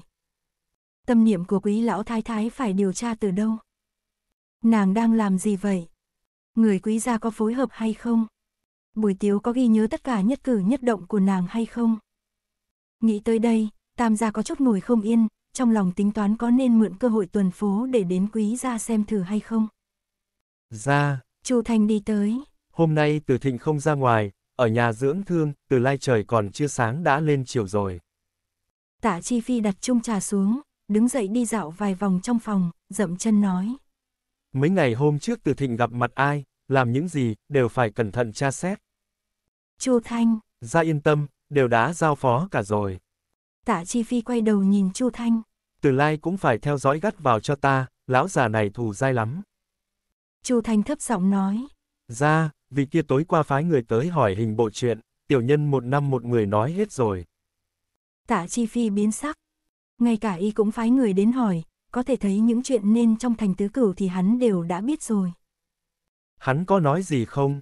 Dặn ra cẩn thận một chút, từ lai là chó của Hán Vương, đánh chó còn phải xem mặt chủ, món nợ này chỉ sợ Hán Vương đã ghi nhớ rồi. Tạ Chi Phi im lặng không nói lời nào. Chu Thành đánh giá sắc mặt chủ tử, lại thấp giọng nói. Ra, người đó còn dặn một câu, quốc khố trống rỗng, với tính tình của thái tử thì ắt sẽ bỏ xe giữ tướng. Tạ Chi Phi chỉ cảm thấy đầu mình như bị cái gì đó đập mạnh một cái. Nếu như nói từ lai là chó của Hán Vương, thì Quý Lăng Xuyên chính là chó của Thái tử, chủ nhân vì tự vệ mà bỏ chó, vậy chẳng phải Quý gia sắp gặp nguy rồi sao? Suy nghĩ thật lâu, hắn trầm giọng nói. Ngươi đưa tin qua, ta và Bùi Tiếu muốn gặp hắn. Vâng. Lúc này, Đinh Nhất vội vàng đi vào, trong tay còn mang theo một hộp thức ăn. Ra, đỗ cô nương phái người đưa tới. Các người chia ra mà ăn. Tạ Chi Phi xoay người đi ra ngoài, Đinh Nhất gọi theo bóng anh. Ra, ra đi đâu vậy? Còn không mau đuổi theo. Chu Thanh liếc mắt một cái, đồng thời lại khẽ nói. Đi quý gia. Lúc gặp quý lăng xuyên lần nữa, đến Yến Tam Hợp cũng thấy kinh hãi. Trong một đêm, tóc của hắn gần như bạc hơn một nửa, hai mắt vốn lõm xuống, lại lòi ra giống như vừa bị móc, nhìn cực kỳ đáng sợ. Không ai biết, Quý Lăng Xuyên cả đêm qua không nhắm mắt lại nổi, trong đâu chỉ suy nghĩ đến một chuyện. Mẫu thân, người vì một con chó mà gây tai họa cho con cháu đời sau sao, người sao có thể nhẫn tâm làm như vậy. Yến Tam Hợp rất hiểu cảm nhận này, lúc nhìn thấy tâm ma của tổ phụ đêm đó, nàng cũng mở mắt đến hừng đông. Không an ủi người khác, Yến Tam Hợp khô khan nói. Mọi việc luôn có nhân quả, tìm được nhân quả trước vẫn quan trọng hơn. Quý Lăng Xuyên hai mắt trợn trừng gật đầu. Yến Tam Hợp. Tâm ma của lão thái thái là một con chó, trong phủ quả thật không có nuôi chó sao. Quý Lăng Xuyên. Quả thật không nuôi. Yến Tam Hợp. Vì sao? Điểm này ta biết. Bùi Tiếu nói, Ngoại tổ mẫu ta không thích chó, cho nên không nuôi. sắc mặt Yến Tam Hợp cứng đờ, không thích chó, nhưng tâm ma lại là một con chó, như vậy không phải rất mâu thuẫn sao? Tại sao bà ấy lại không thích? Yến Tam Hợp hỏi, Là bị chó cắn sao? Quý Lăng Xuyên nhớ lại nửa ngày, lắc đầu nói. Mẫu thân chưa từng bị chó cắn. Yến Tam Hợp không hiểu, thế này chẳng phải càng không hợp lý sao? Thành tứ cửu tuy ở dưới chân thiên tử, chị An vô cùng tốt, nhưng theo nàng hỏi thăm, thì các nhà giàu đều nuôi mấy con chó, dùng để giữ nhà giữ cửa. Trong phủ trước nay chưa từng nuôi chó, hay là bởi vì lão thái thái không thích nên về sau mới không nuôi. Quý Lăng Xuyên nghe nàng hỏi cái này, thì nghiêm túc suy nghĩ một chút, trước mắt chợt sáng ngời. Có nuôi, Ta nhớ rất rõ, khi còn bé trong nhà có vài con chó, say này mẫu thân quản lý gia đình mới không nuôi. Yến Tam Hợp như có điều suy nghĩ, chỗ ở của lão thái thái ở đâu, dẫn ta đi xem thử. Ta đưa ngươi đi, Bùi Tiếu làm một tư thế mời. không xa, gần đây thôi. Yến Tam Hợp không để ý tới hắn. Quý lão gia, những người hầu hạ mẫu thân ngươi khi còn sống có còn ở đây không? Da mặt Quý Lăng Xuyên hơi co rút. Lão thái thái qua đời đã mấy tháng, một nửa ở lại trong phủ, một nửa đã đuổi đi. Yến Tam Hợp nhìn vẻ mặt này của hắn, thì biết hỏng rồi. Người gần gũi hầu hạ nhất cũng đuổi đi sao? Vẻ mặt Quý Lăng Xuyên vô cùng bất đắc dĩ. Bên người lão thái thái chỉ có một người, là mụ Trần, Minh Đình cũng quen. Người này theo lão thái thái mấy chục năm, lão thái thái vừa đi, bà ấy lập tức xin về quê dưỡng già. Yến Tam Hợp, Quê ở đâu? Quý Lăng Xuyên bị hỏi, việc này hắn đúng thật là không có thời gian hỏi thăm. Bùi Tiếu vội nói, Việc này dễ, lát nữa ta sẽ cho tả ngũ thập điều tra. Yến Tam Hợp nhìn Bùi Tiếu một cái, cảm thấy người này hôm nay có vẻ thân thiện quá đáng. Mụ Trần là người lão thái thái đưa từ nhà mẹ đẻ đến hay là người quý phủ? Quý Lăng Xuyên không nghĩ tới nàng lại hỏi tỉ mỉ như vậy, suy nghĩ một hồi lại nói. Là người quý phủ, nhà mẹ đẻ ta rất xa, không mang ai vào kinh cả. Một mình vào kinh, Yến Tam Hợp nhướng mày trong lòng. Cái này không hợp lẽ thường, thế ra quý nữ lập gia đình, không phải đều có nhà hoàn đi cùng sao.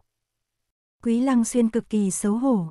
Mẫu thân ta không phải quý nữ gì, nàng vốn là thiếp của phụ thân ta, sau đó mới được nâng lên làm chính thê. Như vậy thì hiểu rồi. Nhưng mối nghi ngờ lúc này mới có, một vị tiếp thì làm thế nào để từng bước bỏ đến vị trí chính thê. Yến Tam Hợp hơi nghiêng mặt, nhìn Lý Bất Ngôn một cái, Lý Bất Ngôn nhận được ám chỉ, nói. Bùi đại nhân, Bùi Tiếu lắc đầu, Lý cô nương cần gì? Lý Bất Ngôn cười híp mắt, Đừng quay đầu lại, bây giờ hãy gửi thư cho Tam gia đi hỗ trợ điều tra đi. ngươi là cộng hành nào, chủ tử nhà ngươi còn chưa lên tiếng đâu. Bùi Tiếu đang muốn há miệng chửi thì nghe thấy Yến Tam Hợp lạnh lùng nói. Nói cho hắn biết, càng nhanh càng tốt. Bùi Tiếu tức giận đến muốn chửi đồng lên. Họ Yến ngươi không biết nói thẳng sao, vì sao chuyện gì cũng phải thông qua miệng nha hoàn thế hả? Còn bà nó ngươi là đang duy trì cảm giác thần bí của mình sao? Minh Đình, Bùi Tiếu đối diện với ánh mắt của cậu mình, vẫy vẫy tay với thị vệ Hoàng Kỳ đi theo phía xa. Hoàng Kỳ vội vàng chạy tới. Bùi Tiếu ghé vào tai hắn nói nhỏ một hồi, cuối cùng lại lớn tiếng ra lệnh. Mau đi đi. Hoàng Kỳ mới gật đầu một cái, người đã cách xa ngoài mấy trượng. Lý bất ngôn im lặng thu vào trong mắt, nhân dịp không ai chú ý, thấp giọng nói bên tai Yến Tam Hợp. Người này tay chân công phu, rất tốt. Trong lúc nói chuyện, thì đã đến viện của lão thái thái. Ngôi viện này nằm ẩn ở giữa một khu rừng trúc, rất có hương vị thế ngoại thần tiên. Nhưng Yến Tam Hợp lại chỉ cảm thấy ngôi viện này âm khí lạnh lẽo, rừng trúc rậm rạp chặn phần lớn ánh mặt trời. Lão thái thái khi còn sống không thích ồn náo nhiệt. Thích chứ. Bùi tiếu, Bà ngoại ta thích nhất là con cháu vây quanh, cả nhà náo nhiệt. Yến Tam Hợp đưa một ngón tay ra chỉ. Nếu thích, vì sao ở nơi này? Nơi này có cái gì không ổn sao? Âm khí nặng. Ngươi, nương nó, chết tiệt. Bùi tiếu thầm rít gào. Tạ ngũ thập, người mau tới đây, ông ấy sợ qué rồi. chương 67, ngôi viện. Tạ tam ra đến. Đây là vừa nhắc Tào Tháo, là Tào Tháo đã đến sao? Dưới chân bùi đại nhân như dẫm lên phong hỏa luân, lập tức chạy tới trước mặt tạ chi phi. Lục bốn mắt nhìn nhau, bùi đại nhân lòng nóng đã như lửa đốt. Thừa Vũ, cuối cùng ngươi cũng tới, đi, đi, chúng ta tìm chỗ nói chuyện đi, ta có một bụng lời muốn nói đây. Nhịn đi đá. Tạ Chi Phi mặc một thân trang phục võ quan đi vòng qua hắn, rồi bước nhanh về phía Yến Tam Hợp. Quý Lăng Xuyên nghênh đón. Thừa vũ tới rồi sao? Quý bá. Tạ Chi Phi hành lễ. Đang tuần phố thì tình cờ gặp được Hoàng Kỳ, con đã phái người đi tìm mụ Trần rồi, đoán chừng 2-3 ngày sau mới có tin tức, sợ người lo nên con qua đây nói một tiếng. Làm phiền con rồi. Quý bá bá đừng khách khí với cháu, cần cháu giúp gì thì cứ nói. Tạ Chi Phi nhướng mắt thản nhiên quét mắt nhìn Yến Tam Hợp. Ta ở binh mã ti ngũ thành, năng lực khác không có, nhưng rất giỏi tìm và điều tra người khác. Yến Tam Hợp giống như không thấy cái liếc mắt của tả Tam gia. Quý lão gia, ngài còn chưa giải thích, vì sao lão thái thái lại ở đây. Mẫu thân ta nói khi còn bé bà đã sống trong rừng trúc, quen rồi. Quý Lăng Xuyên vội giải thích. Bà còn nói không nghe thấy tiếng lá trúc xào xạc thì không ngủ được. Cái viện này có vấn đề gì sao? Tạ Chi Phi dùng vẻ mặt khiêm tốn thỉnh giáo, Yến Tam hợp mím môi dưới, khẽ nhìn về phía Lý Bất Ngôn. Lý Bất Ngôn cười híp mắt nói. Âm khí trong viện có hơi nặng, người lớn tuổi vẫn nên phơi nắng nhiều một chút, thuận tiện bổ sung canxi. Bổ sung cái gì? Bùi Tiếu đi theo, vừa vặn nghe được câu này. Lý Bất Ngôn cười đến cong mắt lên. Bổ, náo. Bùi Tiếu. Yến Tam hợp nhấc chân đi vào viện, có hai mụ bà đã nghênh đón hành lễ. Quý Lăng Xuyên theo sát phía sau vội nói. Hai người bọn họ trong viện. Yến Tam hợp. Các ngươi từng hầu hạ lão thái thái chưa? Hai người lắc đầu. Vậy thì lùi ra đi. Yến Tam hợp lại nhìn về phía Lý Bất Ngôn, Lý Bất Ngôn cười híp mắt nói. Quý lão gia, các ngươi đưa tiểu thư vào nhà xem trước đi, ta ra bên ngoài dạo một vòng rồi tới sao. Không đợi Quý Lăng Xuyên mở miệng, nàng đã theo đường mòn đi sâu vào bên trong.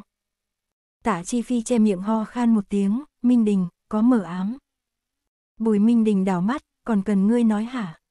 Tiếp theo ta muốn vào nhà kiểm tra đồ đạc của lão thái thái thử.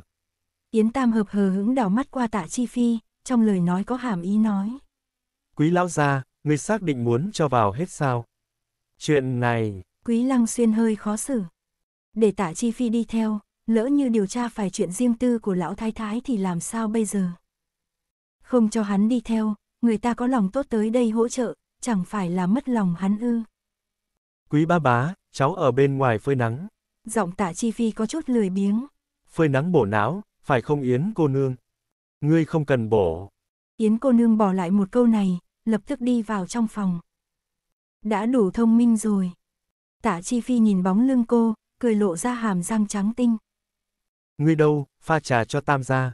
Quý bá không cần lo cho ta, mau vào trong đi. Tạ Chi Phi nháy mắt với Bùi Tiếu, Bùi Tiếu bước lên đỡ lấy Quý Lăng Xuyên. Cậu đi vào với cháu nào. Trong việc chợt trở nên trống rỗng. Nhà hoàn mang một chiếc ghế trúc đến, gia đình lại pha trà nóng, thấp giọng mời. Tam gia, mời dùng trà. Tam gia đang sừng sốt nên không nghe thấy. Tạ Chi Phi đang suy nghĩ cái gì ư? Hắn nhớ lại lúc trước Yến Tam hợp giải ma ở tạ gia, cũng không nói với bất cứ ai mà chỉ nói với đương sự mà thôi. Bởi vậy xem ra, nàng làm việc cực kỳ có chừng mực, chuyện của đương sự thì không để lọt ra ngoài một chút nào. Hồng nhiều chuyện, bé thích. Viện của lão thái thái rất rộng. Nhà chính đặt một cái bàn bát tiên, trái phải hai cái ghế thái sư. Phía dưới là tám cái ghế, trái phải mỗi bên bốn cái, chất liệu đều là gỗ hoa lê thượng hạng. Sương phòng phía đông là nơi sinh hoạt thường ngày, sương phòng phía tây là nơi đãi khách, không hề lộn xộn. Giường trong sương phòng phía đông vẫn còn, chỉ là chăn đệm gối đều đã được rút đi. Mở cửa tủ ra, cũng trống rỗng. Yến Tam hợp nhíu mày nói. Đồ của lão thái thái đều bị đốt rồi sao? Quý Lăng Xuyên, lúc đưa tang đốt hơn phân nửa, đến trung thất lại đốt hơn phân nửa. Sợ Yến Tam hợp trách cứ, hắn lại giải thích. Đây là quy củ, để đồ người chết ở nhà, không may mắn. Yến Tam hợp im lặng. Mùng mìn gối chiếu y phục đều đốt sạch, tựa như người đó chưa từng đến thế giới này này. Như thế bao nhiêu năm sau, ai còn nhớ bà ấy đã từng đi lại trong viện này, từng giấu món ăn ngon nhất lại, chỉ vì chờ đứa cháu ngoại mình đến mà dỗ dành hắn đây. Không để lại chút gì sao? Yến Tam hợp hít một hơi thật sâu. Sách bà đọc, đồ bà thêu, hay vàng bạc trang sức từng đeo. Quý Lăng Xuyên bị hỏi mà đổ mồ hôi lạnh, môi mấp máy muốn giải thích gì đó, nhưng lại phát hiện không có gì để giải thích. Bà ngoại ta không biết chữ, cho nên không có sách gì, quý gia sao có thể để cho bà thêu thùa may vá, thương bà còn không kịp, về phần những thứ kia vàng bạc trang sức. Bùi Tiếu dừng một chút. Mẫu thân ta nói, lão thái thái dự cảm mình sắp không sống nổi nữa nên đã chia hết rồi. Mẫu thân ta còn được chia cho vài thứ mà. Yến Tam Hợp không lên tiếng, chắp tay đi ra khỏi xương phòng phía đông. Trong xương phòng phía tây cũng trống rỗng, sạch sẽ đến cho bụi cũng không có. Lần này, Yến Tam Hợp hoàn toàn im lặng. Quý Lăng Xuyên thấp thỏm bất an nhìn nàng, trong lòng cực kỳ hối hận, lúc trước sao không để lại chút đồ của mẫu thân, để lại làm kỷ niệm cũng được mà. Đúng rồi. Bùi Tiếu vỗ tay. Trong phòng ta có một bộ giấy bút mực lão thái thái tặng cho, cô nương có muốn xem không? Ngươi bị ngốc à? Yến Tam Hợp lui đến nhà chính, chỉ vào bát tiên bàn hỏi. Lão thái thái bình thường ngồi ở vị trí nào? Quý Lăng Xuyên vội nói. Mẫu thân ngồi bên tay phải, bên tay trái là ta ngồi. Yến Tam Hợp vén quần áo, ngồi xuống ghế bên tay phải. Cửa chính đường mở rộng, từ nơi này nhìn ra có thể nhìn thấy bức tường màu xám xanh, bên tường có mấy cây trúc xanh, mà một cái giếng dưới hàng trúc. Gió thổi qua làm lá trúc xào xạc, tiếng xào xạc kia dường như đang thổi vào trong lòng người, dịu dàng mềm mại. Một bức tranh đẹp biết bao. Lúc ngồi ở đây, lão thái thái sẽ nhớ đến điều gì đây? Nhớ đưa cháu ngoại bảo bối nhất của mình, hay là nhớ phu quân đã âm dương xa cách? Nhớ quá khứ khi bà còn là thiêu nữ, hay là nhớ quá trình bà gả vào quý gia rồi thượng vị? Đúng lúc này, nam tử mặc quan phục đi tới bên giếng, cúi đầu nhìn vài lần, phát hiện phía sau có người nhìn thì đột nhiên quay đầu lại. Không hề phòng bị, bốn mắt nhìn nhau. Tạ Chi Phi mỉm cười với nàng, sau đó gật đầu một cái.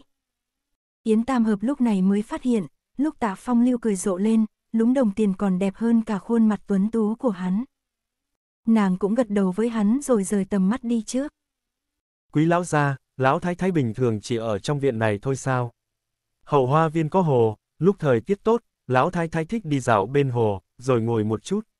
Đi cùng ai? Phần lớn thời gian là cùng mụ trần, có đôi khi là mấy đứa con dâu, có đôi khi là tiểu bối trong phủ. Ta có thể đi xem không? Đương nhiên có thể. Quý Lăng Xuyên nói xong, nhíu mày, dáng vẻ muốn nói lại thôi. Yến Tam nhắm mắt lại. Ngươi có chuyện gì, cứ hỏi đi. Quý Lăng Xuyên ngẩn ra, lập tức lắc đầu nói. Không có gì, ngươi, đừng nói dối. Bùi Tiếu liếc mắt. Yến cô nương, lời này ta thay cậu ta hỏi, khi nào chúng ta mới có thể hóa giải tâm mà của bà ngoại ta. Cảm ơn bạn đã ghé thăm kênh Holic Audio. chương 68, Tâm Hồ. Lời này cũng không biết xấu hổ hỏi ra được. Yến Tam hợp hừ một tiếng, đứng dậy đi ra ngoài. Ngoại trừ việc ta đứng dây giải thích với các ngươi là lãng phí thời gian, thì lúc khác đều đang làm chuyện chính. Vẻ mặt bùi tiếu hơi dạn ra. Quý Lăng Xuyên thấp giọng nói. Ai bảo ngươi nhiều chuyện? Cậu à, cháu là vì ai hả? Quý Lăng Xuyên chừng hắn một cái. Đừng nói nữa, mau đuổi theo đi. Bước ra ngoài viện, tạ chi phi tới đón, nhìn Yến Tam hợp hỏi. Có phát hiện gì không? Tiểu thư, tiểu thư. Đúng lúc này, Lý bất ngôn lao vào như gió. Gặp người đều đứng trong viện, nàng nhếch miệng, lộ ra một nụ cười ngọt ngào, sau đó đi tới bên người Yến Tam Hợp, che miệng nói nhỏ vài câu. Yến Tam Hợp nghe xong, thì quay đầu nhìn Lý Bất Ngôn. Lý Bất Ngôn khẽ gật đầu. Vẻ mặt bùi tiếu lại dạn ra thêm. Bồ Tát ơi, hai bà phù thủy này đang chơi giải đố gì thế, không thể nói trắng ra sao. Còn bà nó, ta thật muốn biết. Yến cô nương. Cũng tò mò như vậy, còn có quý lăng xuyên. Yến Tam Hợp liếc hắn một cái, lạnh lùng nói. Đến hồ tâm trước đi, ta có thể đến hồ tâm không? Tạ Chi Phi bị lạnh nhạt cười cười. Yến Tam Hợp nhướng mày. Tạ đại nhân rất nhàn rỗi ư. Cũng không tính là rảnh rỗi. Tạ Chi Phi sờ cầm, cười. Chủ yếu là sắp đến giờ cơm, còn muốn xin quý bá một bữa thôi. Có lẽ lão thái thái không cất giấu gì ở hồ tâm kia đâu. Quý Lăng Xuyên vội nói. Cùng đi, cũng đi đi. Yến Tam Hợp thấy khổ chủ không ngại, tất nhiên sẽ không nói thêm gì, sau khi đưa mắt ra hiệu cho Lý bất ngôn thì hai người sóng vai đi ra ngoài. Tạ Chi Phi túm lấy cổ Bùi Tiếu, đè xuống nói. Có phát hiện gì không? Cái rắm. Yến Tam Hợp vốn tưởng rằng, Hồ Tâm chỉ là một cái hồ nhỏ đảo ở hậu hoa viên quý phủ, chờ đến khi thực sự nhìn thấy thì cực kỳ chấn động. Đó là một cái hồ rất lớn, ở giữa còn có một con đê, trên đê còn xây một cây cầu nhỏ.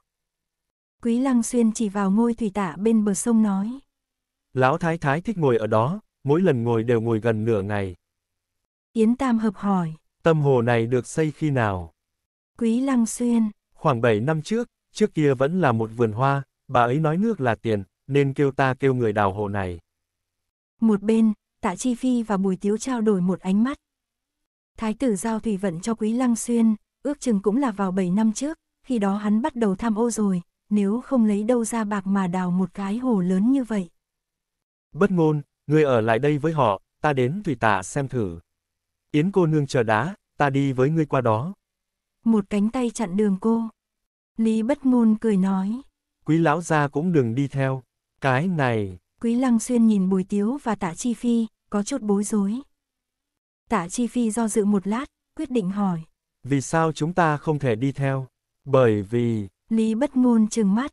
Chọc khí trên người nam nhân sẽ ảnh hưởng đến suy nghĩ của tiểu thư nhà ta. Các nam nhân. Bùi tiếu ngỡ ra là nàng đang mắng chửi người, bèn nổi giận. Lý bất ngôn, ta đùa thôi, bùi đại nhân sao lại coi là thật chứ? Bình tĩnh, bình tĩnh. Còn bình tĩnh, trong lòng bùi tiếu đã rít gào. Bồ Tát à, lôi phong tháp bên Tây Hồ còn chỗ trống không? Mau đè bà phù thủy này xuống con cái. A-di-đà Phật. Ngôi thủy tạ này được xây rất tinh xảo, mùa hè hóng mát ngắm liễu, mùa đông sưởi ấm ngắm tuyết, là một nơi lịch sự tao nhã. Yến Tam Hợp nhìn ngôi thủy tạ cao mày. Vừa rồi Lý bất ngôn ghé vào tai nàng nói ba chuyện. Thứ nhất, quý phủ quả thực không có chó, nhưng mèo thì có mấy con. Chuyện thứ hai, trong vườn hoa nhỏ phía sau sân của lão thái thái, không phải trồng hoa, mà trồng vườn rau, bởi vì không ai chăm nom nên để hoang rồi. Chuyện thứ ba, trước đây bà cụ không ở trong viện này, ước chừng là 8-9 năm trước mới dọn vào.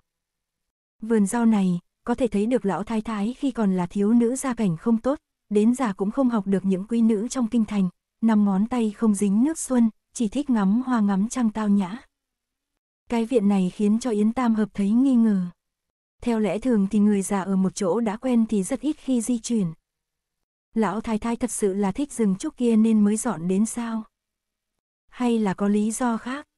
Nếu có nguyên nhân khác, sẽ là cái gì? Quá trình hóa niệm giải ma giống như lột hành tây, lột từng lớp ra sẽ thấy bộ mặt chân thật rõ ràng nhất của người này, bộ mặt này hoặc xinh đẹp, hoặc xấu xí, hoặc cả hai. Lão thái thái, bà rốt cuộc là người như thế nào? Giờ khắc này, Yến Tam Hợp mới thấy thực sự hứng thú với hồ thị này. Giờ khắc này, ánh mắt chợt tạ chi phi khựng lại. Nàng đứng sát mặt nước, bộ quần áo mỏng màu xanh biếc lay động theo gió, nhìn giống như ngôi sao cô đơn ở chân trời lúc bình minh, vừa cô đơn lại vừa xuất trần. Ngôi sao cô đơn đi về phía bọn họ, đứng trước mặt quý lăng xuyên. Yến cô nương, có phát hiện gì không?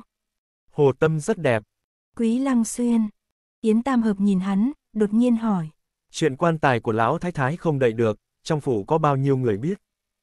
Quý lăng xuyên không ngờ Yến tam hợp lại đột nhiên hỏi cái này. Ta không nói cho ai biết cả, mấy lão nô trông coi nghĩa trang kia cũng là được điều tới, bọn họ theo ta rất nhiều năm, miệng rất kín. Cậu à, người bình tĩnh thật đấy, đổi lại là con thì. Như vậy thì quý phủ ngoại trừ ngươi ra, thì không ai biết được chuyện này, bao gồm phu nhân của ngươi sao. Yến Tam Hợp nói xong thì quét mắt nhìn Bùi Tiếu một cái, tên nhóc này sao lại thích chen vào như vậy. Bùi Tiếu im lặng liếc mắt, bà phù thủy này sao lại thích ngắt lời người khác như vậy. Quý Lăng Xuyên đổ mồ hôi lại, khẽ cắn môi, nói. Không giấu gì Yến cô nương, từ sau khi ta bị thôi quan thì người trong phủ đều hoảng hốt, chuyện hóa niệm giải ma lại quá kỳ quặc, ta. Yến Tam Hợp. Cũng là sợ lộ ra mấy chuyện riêng tư của lão thái thái nữa nhỉ. Quý Lăng Xuyên bị nàng nói trúng tim, bất đắc dĩ. Bà ấy dù sao cũng là mẫu thân ta, lỡ như. Yến Tam Hợp. Suy nghĩ của ngươi không sai. Hả? Một tiếng này, gần như đồng thời phát từ trong miệng Quý Lăng Xuyên và Bùi Tiếu. Bây giờ đối mặt với một vấn đề. Yến Tam Hợp. Đồ của lão thái thái bị các ngươi đốt sạch rồi, không để lại chút manh mối nào, nếu muốn tìm ra chân tướng thì ta muốn tìm ba nhóm người để hỏi thăm. Một nhóm là người đã từng hầu hạ lão thái thái, một nhóm là con dâu thân cận nhất, nhóm còn lại là thế hệ nhỏ như Minh Đình. Tạ Chi Phi. Yến cô nương, ta nói có đúng không? Yến Tam Hợp. Cho nên, ngươi không cần phơi nắng. Đầu óc đủ dùng rồi. Tánh chị em thẳng đuột luôn, hong vòng vo gì sất, khen là khen chê là chê, em thích ghê luôn á. Vẻ mặt tạ chi phi mang theo chút bất cần đời. Đa tạ vì đã khen. Yến Tam Hợp không có thời gian ba hoa với hắn. Ta là một người ngoài không quan trọng gì, cũng có sức mạnh thần bí như phù thủy, cho nên sẽ có nhiều người không chịu nói thật, hơn nữa còn nổi lên lòng nghi ngờ, bùi đại nhân, người nói có đúng hay không? Bùi đại nhân cực kỳ nghi ngờ nàng ta đang hám chỉ hắn. Bùi tiếu hừ hừ nói. Quả thực nếu không có sức uy hiếp gì thì thật dễ khiến người ta nghi ngờ. Cho nên, Ánh mắt lạnh như băng của Yến Tam Hợp lại rơi vào trên người Quý Lăng Xuyên. ngươi phải đưa ra lựa chọn, hoặc là thẳng thắn thừa nhận mọi chuyện, hay là vì mặt mũi mà tiếp tục giấu giếm. Cái trước, tiết kiệm thời gian tiết kiệm sức lực. Cái sau, chúng ta sẽ phải đi rất nhiều đường vòng. Sắc mặt Quý Lăng Xuyên nặng nề, mày nhíu chặt, rất lâu không nói nên lời. Ta có một chủ ý, không biết có được hay không. Ánh mắt mọi người nhìn về phía tạ Tam gia, Tam gia đối diện với ánh mắt nghi ngờ của Quý Lăng Xuyên. Quý bá có tin tưởng ta không? Câu hỏi này, Quý Lăng Xuyên càng không dễ trả lời. Nếu như quý bá tin tưởng ta, thì ta sẽ nói là binh mã ti đang điều tra vụ án, như thế thì vừa có thể bảo đảm bọn họ nói thật, cũng sẽ không để cho bọn họ nghi ngờ. Tạ Chi Phi cười với Yến Tam Hợp. Yến cô nương cảm thấy thế nào? chương 69, tâm cơ. Yến cô nương không cảm thấy thế nào. Binh mã ti điều tra án, vậy thì điều tra vụ án gì? Nàng chỉ hỏi ngược lại. Thật thông minh, nói chúng trọng tâm luôn. Tạ Chi Phi hờ hững cười. Mộ của lão thái thái tự dưng bị đào lên, vụ án này binh mã ti có thể điều tra không? Xung quanh yên tĩnh. Nếu như thế, không chỉ có chuyện quan tài lão thái thái mở ra có thể che giấu quá khứ, mà còn có thể danh chính ngôn thuận tìm bất cứ kẻ nào trong quý phủ để hỏi thăm. Ai làm thế? Sao lại làm thế? Có thâm thù đại hận gì với lão thái thái? Tất cả quá trình hóa niệm giải ma đều có thể che giấu dưới vụ án này, không ai nghi ngờ. Ý tưởng này, quả thực rất tuyệt. Yến Tam Hợp nhìn nam nhân cười lưu manh xấu xa trước mắt này, lúc này cũng đã cảm thấy được gì đó. Tên tả phong lưu này không bất cần đời như vẻ bề ngoài. Người này có thủ đoạn, có đầu óc, còn có. Chút tâm cơ. Im lặng một lát, nàng lại hỏi. Như vậy, ta là gì của binh mà ti? Ngươi là cao thủ điều tra án ta mời tới. Tạ Chi Phi nhìn thẳng vào mắt nàng, chậm rãi nói. Thân phận này, Yến cô nương có hài lòng. Bốn mắt nhìn nhau, một con ngươi đen nhánh như giếng sâu, một con ngươi bình tĩnh như nước ngầm. Điều duy nhất có thể khẳng định chính là, hai người đều muốn thông qua đôi mắt này để nhìn thấu đối phương. Yến Tam Hợp nhướng mày. Quý lão gia bằng lòng thì ta cũng bằng lòng. Bóng cao su ném tới chỗ Quý Lăng Xuyên, sắc mặt Quý Lăng Xuyên thay đổi mấy lần, rồi do dự không nói gì. Đến mức này rồi mà còn đề phòng ta sao? Quả thực không biết sống chết. Tạ Chi Phi thầm cười gần một tiếng. Quý bá, chúng ta nói chuyện riêng một chút đi. Hai người đến bên cạnh, Tạ Chi Phi mở miệng không khách khí. Quý bá, còn có nghe nói động tác của ngự sử đài mấy ngày nay rồi, hơn nữa lão ngự sử còn nói, ngày lên chiều chắc chắn sẽ chỉ tội. Quý Lăng Xuyên lảo đảo, đứng không vững nữa. Ngự sử một khi chỉ tội thì bách quan đều run rẩy, cho dù là ai cũng phải e ngại ba phần. Đây không phải chỉ là buộc tội người ở trước mặt hoàng đế mà chắc chắn là muốn kéo một người xuống ngựa, thậm chí bỏ tù xét nhà. Tạ Chi Phi đỡ lấy hắn, thở dài nói. Nếu không phải nể tình minh đình, thì con sẽ không nhiều chuyện đi làm việc này. Quý bá, đừng do dự, không có thời gian nữa rồi. Quý Lăng Xuyên chậm rãi ngẩng đầu, nhìn khuôn mặt trước mặt, gật mạnh đầu. Cảm thấy không đủ, lại gật thêm lần nữa. Tạ Chi Phi vỗ nhẹ lưng ngươi, an ủi. Còn chưa tới đường cùng, Yến Tam Hợp tuyệt đối là một đường sống. Quý Lăng Xuyên quay lưng lau nước mắt vần đục, cố gắng đè nén cảm xúc đang cuồn cuộn. Bữa trưa đặt ở phòng khách. Quý Lăng Xuyên bận rộn đi sắp xếp chuyện buổi chiều, xung quanh bàn bát tiên đều có người ngồi. Thức ăn rất phong phú, tám món mặn một món canh. Nhưng bùi đại nhân không hài lòng lắm, mặt hắn sụ xuống. Một tỷ nữ lại dám ngồi ăn cơm cùng chủ tử, ai cho nàng ta lá gan đó thế. Hắn liếc lý bất ngôn. Được ăn cùng thì ăn cùng, có cần ngẩng đầu ưỡn ngực, ra dáng đương nhiên như thế không? Bùi tiếu thầm đá đá chân tạ chi phi, con bà nó ngươi mặc kệ à.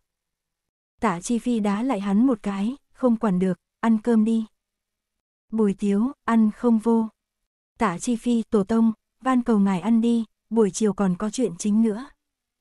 Bùi Tiếu, người bảo tên họ Lý kia cút đi thì ta mới ăn. Hai vị nè, Lý bất ngôn mỉm cười. ăn ngon miệng vào đi, coi như tích thiện hành đức cho dạ dày của ta, có được không? Bùi Tiếu hừ lạnh một tiếng. Dạ dày của ngươi làm sao? Lý bất ngôn cười càng tươi. Dạ dày của ta có thể ăn gà, nhưng không nhìn được có đứa chơi gà.